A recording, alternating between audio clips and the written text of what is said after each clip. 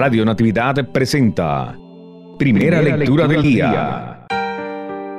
De la carta del apóstol San Pablo a los Efesios, capítulo 4, versos 1 al 7 y 11 al 13.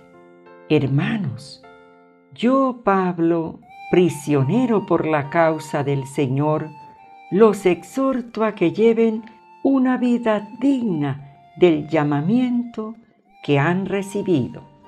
Sean siempre humildes y amables. Sean comprensivos y soportense mutuamente con amor. Esfuércense en mantenerse unidos en el Espíritu con el vínculo de la paz, porque no hay más que un solo cuerpo y un solo espíritu como es también solo una la esperanza del llamamiento que ustedes han recibido.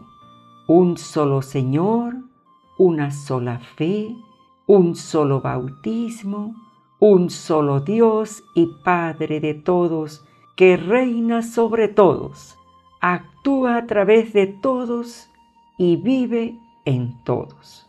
Cada uno de nosotros ha recibido la gracia en la medida en que Cristo se la ha dado. Él fue quien concedió a unos ser apóstoles, a otros ser profetas, a otros ser evangelizadores, a otros ser pastores y maestros.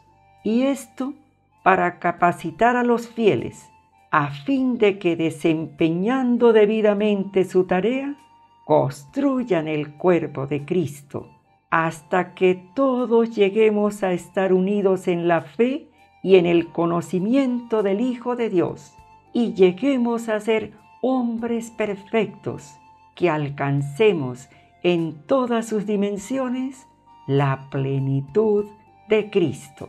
Palabra de Dios. Te alabamos, Señor.